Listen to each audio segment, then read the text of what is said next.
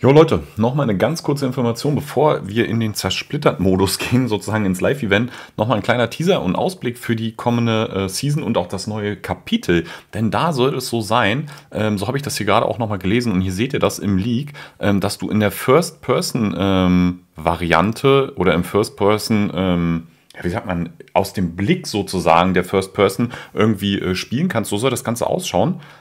First Person Optik, sage ich jetzt einfach mal so. Schaut mal, das ist das Ganze, wie es im Leak ist. Ihr seht hier ganz rechts unten, er hält dann einfach eine Knarre und das soll in dem im neuen Kapitel kommen. Ob das jetzt gleich sofort kommt oder erst später nachgelagert, das kann ich nicht sagen. Aber so sieht das aus und so soll das Ganze auch äh, jetzt im Leak gewesen sein.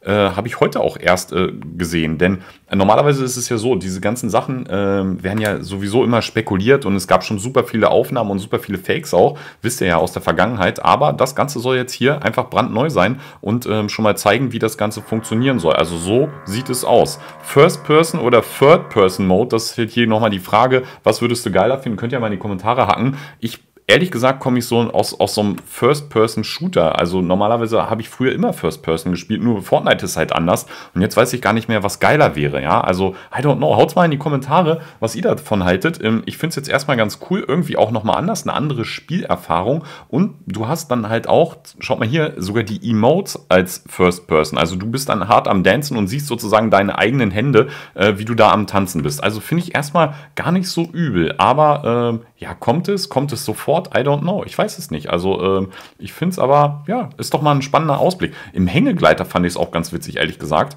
Äh, wo hatten wir das denn? Hier vorne, da kommst du halt angeflogen. Geil wäre jetzt nochmal, wenn du irgendwie, keine Ahnung, mit so einem Indiana Jones äh, irgendwie den äh, festhalten würdest und das sehen könntest. Oder wenn du auf einem Gleiter bist oder so, wenn du nach unten schaust, den nochmal sehen könntest, würde ich sehr, sehr cool finden. Aber nichtsdestotrotz, das ist doch auch schon mal cool. Äh, haut's wie gesagt in die Kommentare, was ihr geiler findet, Third Person oder First Person. Ja, Ganz wilde Nummer. Ja, was ist ein Second Person? Nobody knows. Von oben wahrscheinlich. Kennt ihr noch das alte GTA, wo man von oben drauf geguckt hat? Das wäre es wahrscheinlich. Also in diesem Sinne, kleiner Ausblick, finde ich cool. Bis dann. Ciao, ciao.